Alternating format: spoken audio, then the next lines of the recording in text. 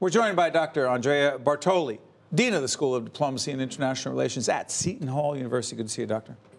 To see you. So many things going on internationally. Yes, we are a New Jersey-based show, but uh, New Jersey needs to be connected to the rest of the world.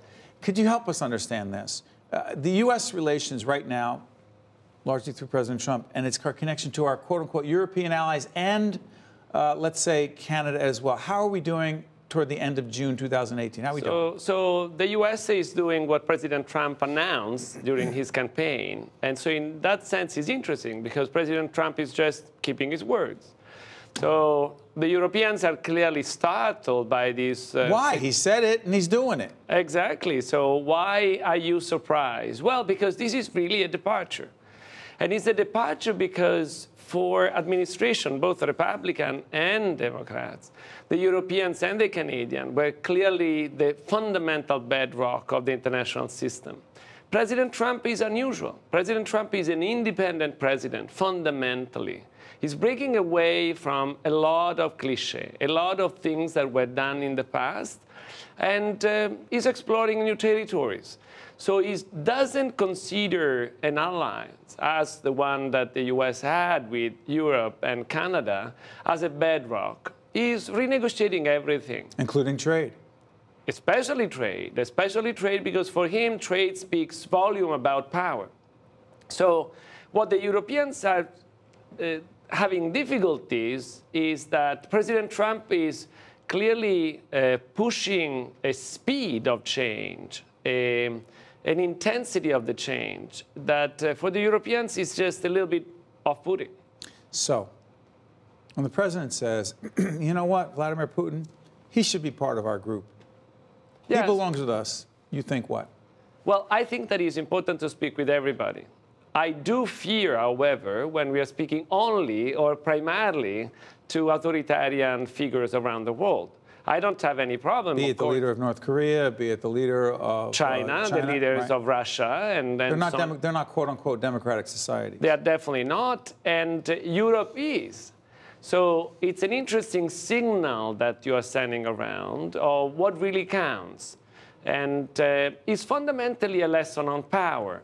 Uh, the ones that do have power, we are talking to. The ones that are procedural, the ones that are participatory, the ones that are truly democratic, well, we are not that interested because in many ways they are weak.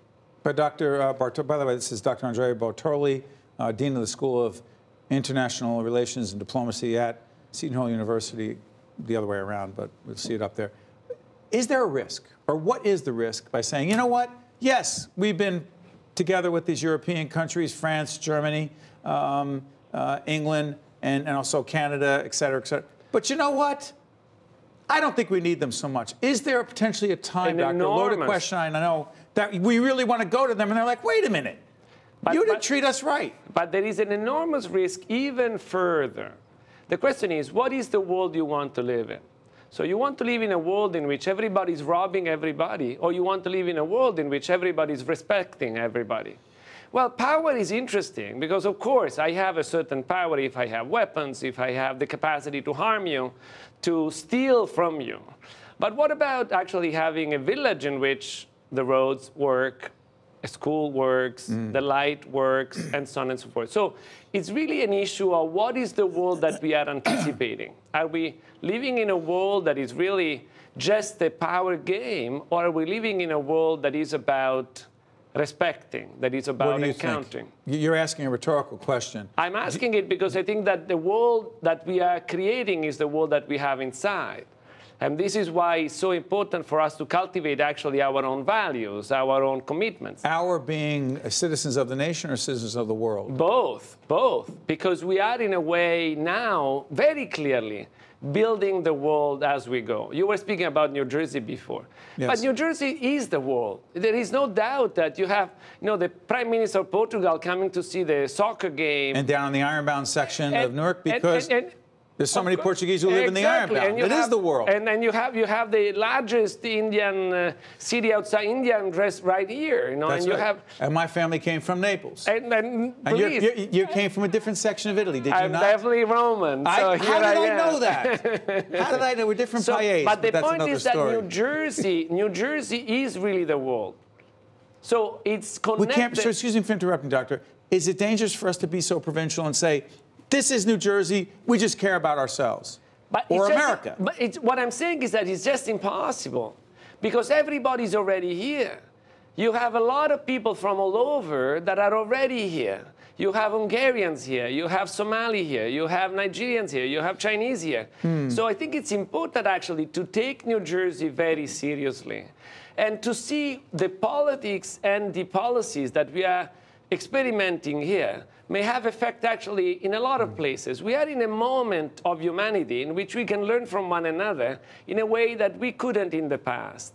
But from the way you get your garbage to the way you do your education, from the way you do transportation to the way you welcome people, you are actually setting the tone, not just for New Jersey, but for the world you want to have. By the way, Steve Adubato here. We're talking with Dr. Uh, Bartoli from Seton Hall University about a whole range of international issues. I have to do this. As we speak right now, the immigration issue is complex, confusing. As we speak, literally, the whole at the end of June 2018, the whole question of babies, children being separated from their um, parents.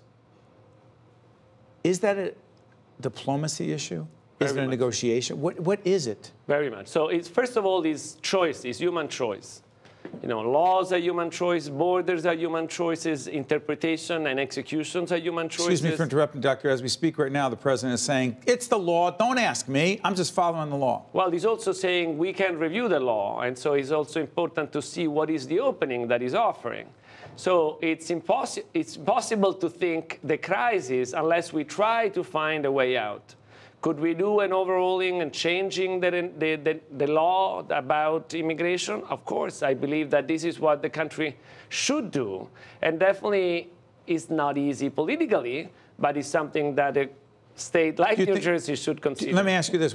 I said when we're taping toward the end of June, this show will be seen after that. If you were predicting it, would you say that we are, in fact, going to take on a meaningful discussion and real changes in immigration policy We have- better? We have to. we have to. For if we do not, Um, America economically, politically needs a lot of migrants.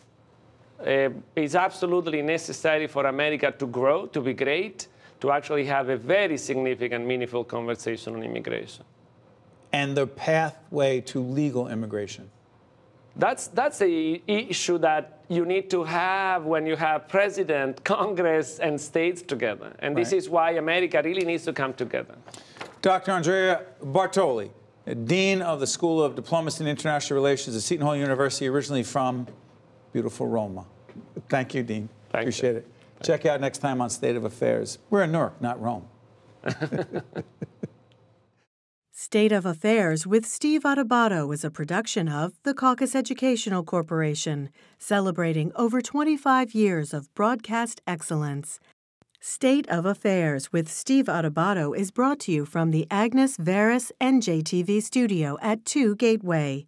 Funding has been provided by New Jersey Resources, Valley National Bank, Summit Medical Group, NJ Best, the New Jersey Office of the Insurance Fraud Prosecutor, New Jersey Council of County Colleges, and by International Union of Operating Engineers, Local 825.